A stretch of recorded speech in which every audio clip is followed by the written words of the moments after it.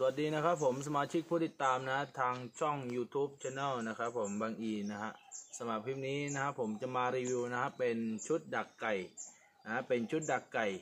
นะเป็นชุดดักไก่ป่าแบบ31หลักนะแบบ31หลักนะครับผมนะจะมีแบบหลักเดียวแล้วก็หลักผีเสื้อนะฮะเป็นเป็นบ่วงบ่วงเดียวแล้วก็เป็นบ่วงผีเสื้อนะจะมีสองแบบนะฮะจะมีสองแบบ อันนี้เป็นผีเสื้อนะครับผมแล้วก็ชุดนี้ก็จะเป็น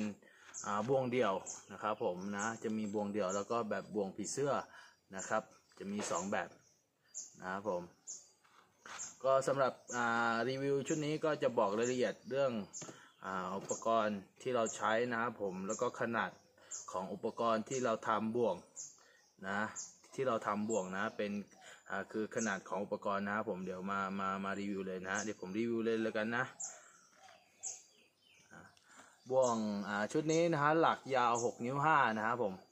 นะหลักยาว 6 นิ้ว 5 บ่วงกว้าง 5 นิ้ว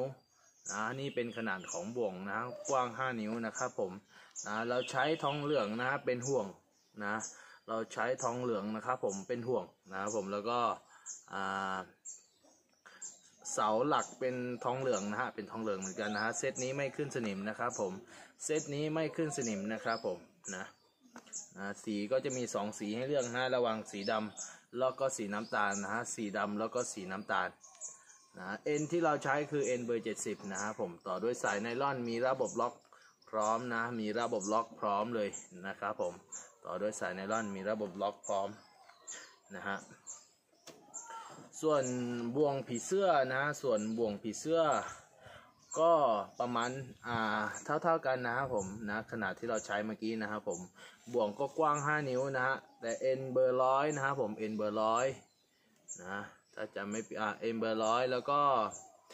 ห่วงก็ใช้ห่วงทองเหลืองนะฮะห่วงทองเหลือง หลักเสาทองเหลือง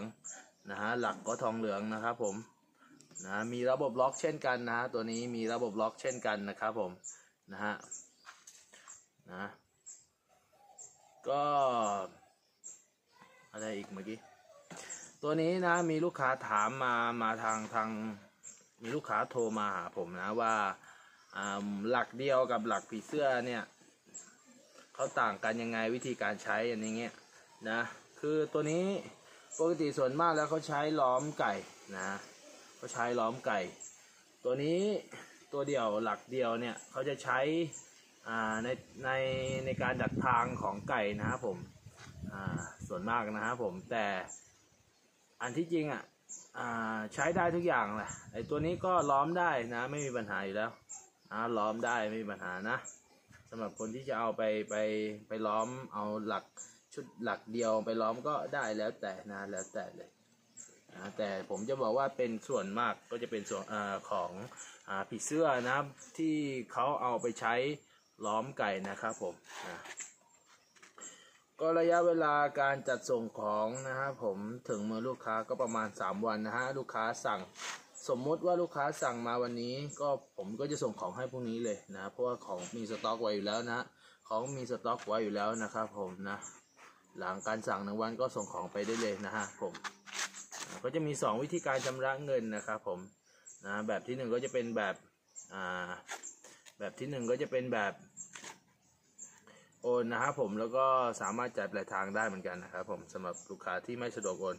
นะก็จะคิดค่าส่งบอกเพิ่มเดี๋ยวยังไงก็จะทักพี่อ่าลูกค้าทักมาทางไลน์แล้วกันนะเดี๋ยวจะแจ้งรายละเอียดไปอีกทีนะครับผมค่าจะส่งเท่าไหร่สำหรับจ่ายปลายทางอย่างนี้นะก็สำหรับที่นี้นะครับฝากกดติดตามช่องผมด้วยนะครับผมฝากกดติดตามช่องนะช่อง YouTube แล้วก็กดไลค์คลิปด้วยนะครับผมนะสำหรับสำหรับวันนี้นะครับลากันตรงนี้เลยนะครับผมสวัสดีครับ